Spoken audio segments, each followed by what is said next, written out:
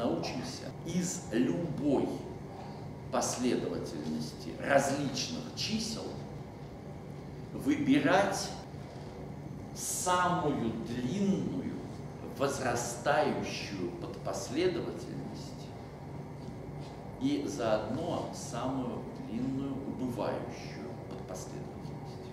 Один, четыре, девять, три, пять, семь, девять. Нельзя 9. А, нельзя? 9 уже было. А, в смысле, получилось? Два. По одному смыслу. Восемь. Ну, вроде всё. Нет. А, шесть. И ноль. 6 и... Ноль. Семь. э, так, по-моему, у нас действительно все 10 Ребят, а теперь э, очень простая штука. Я буду те же самые числа. На самом деле я мог бы и сразу их так записывать, но тогда удовольствие было бы меньше. Следите за руками. Я пишу число 1. После этого число 4 больше, чем 1, значит я пишу его здесь. Число 9 больше, чем 4, я пишу его здесь. Что происходит с тройкой? Тройку писать уже нельзя, последовательность уже будет э, неправильная, да? Надо, чтобы она возрастала. Значит, я тройку пишу куда? Вниз. Вниз. После этого пятерка. Я ее не могу написать сюда. А сюда могу. Семерка. Могу. Двойка. Сюда не могу, сюда не могу. Значит, начинаю новую строчку. Восьмерку. Сюда не могу, а сюда могу. Идея понятная? Шестерка. А шестерка? Самую нижнюю. Сюда не могу, сюда не могу, сюда могу. А ноль самую нижнюю. Ноль. Еще. Сюда не могу, сюда не могу, сюда не могу, сюда могу.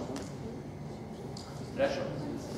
Теперь давайте поймем, что у нас, собственно говоря, есть. Ну, у нас э, здесь возрастающая последовательность. Здесь возрастающая, здесь возрастающая.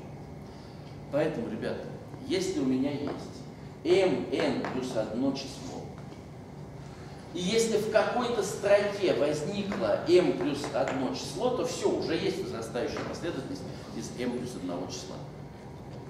Если же ни в какой строчке нет m плюс одного числа, то каждая строчка не больше, чем из m чисел. А значит N. много и меньше, чем э, n плюс 1. Потому что в n по m чисел укладывается только mn, а у нас их больше.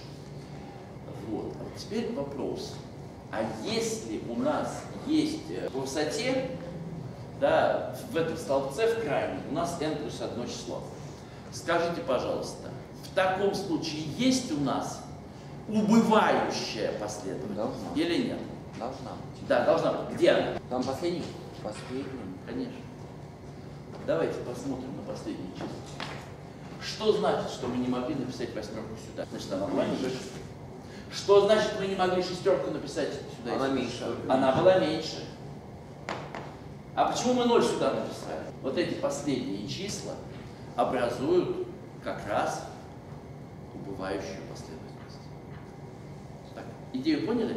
Да. замечательный сюжет. Он является началом очень большой э, серии задач про такого типа э, таблицы.